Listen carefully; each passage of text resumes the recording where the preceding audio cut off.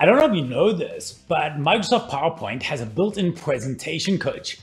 as, a, as a guy who owns a business that actually coaches people how to deliver presentations that change their life, I don't know how I feel about this exactly, especially because it's actually pretty good. In fact, it's really good. However, there is one bit of advice that it gives you that I think you need to ignore. And that's what this video is about. Stick around.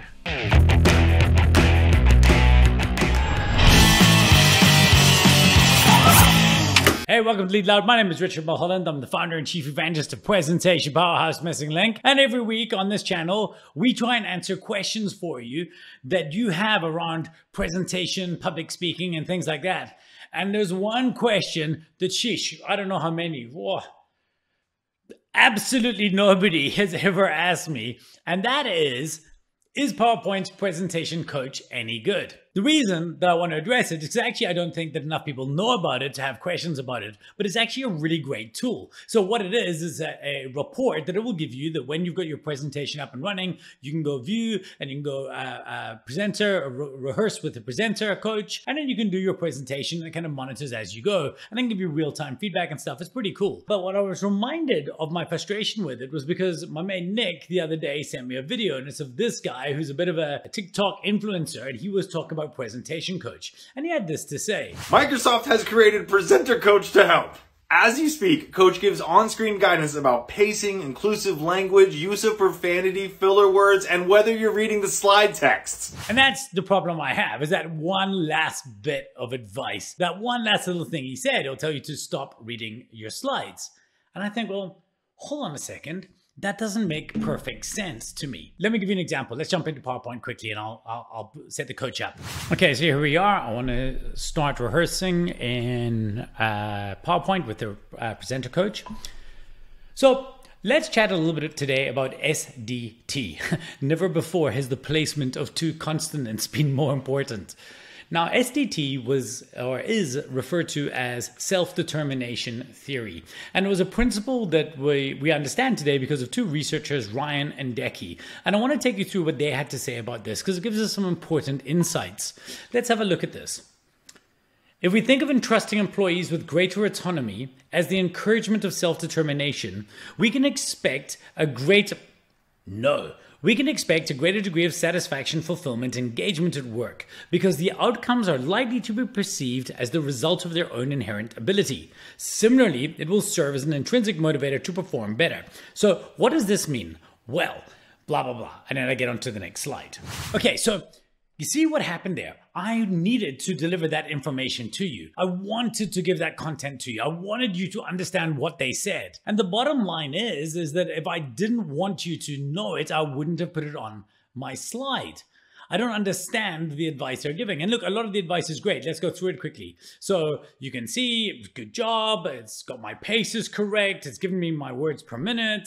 It did actually tell me I used the word great a bit too much, which I agree with. And it's great to know what your filler words are and things. And then we went on and I had the second part of the report. And this is the bit that obviously bothered me. Try to avoid simply reading the slide. Here are the slides you might want to work on. No, I disagree with you, and I'll tell you why in a second. Incidentally, one other great thing, underrated thing it tells me is it tells me how inclusive my language is. And that is fantastic. We all need to hear that a little bit more. It lets you realize, oh, I say things that aren't inclusive. This is a key feature that not enough people are talking about. So why do I care about this? And why does Microsoft not want you to read your slides? Well, that's because we've all been to these presentations where people put up slides like this and then they take you through them and they go into detail. But the problem is, what else does it want you to do? If the content is there, yes, you should be listening to the person. The problem isn't that the person is reading the slide. The problem is that there is too much on the slide to read. If I put words on a screen, right? They're there because I want you to read them. So if I put these words on the screen now, but I don't stop speaking, then I'm busy saying one thing and you're saying, you know, reading something else. It wouldn't make any sense. If I instead turned around and said, okay, so there's a line from the same presentation I want to draw your attention, attention to, and it's this.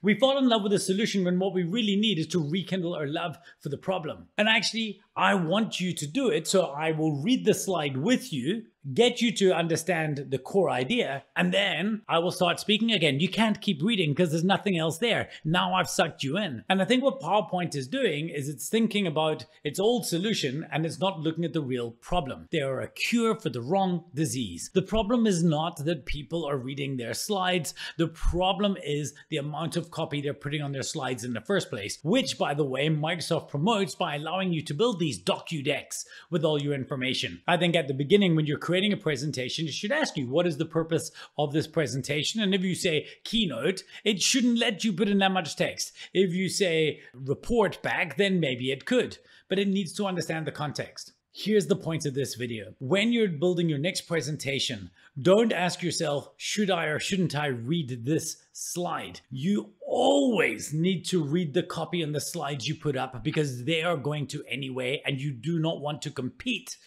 with your own presentation deck. This is a cooperative game, not a competitive one. The question to ask yourself is, is this content that I want to be reading out to people? This isn't your speaker notes. That's a different thing. Let that land for yourself. Give yourself that framing, but always, always read your slides. Until next time, lead loud.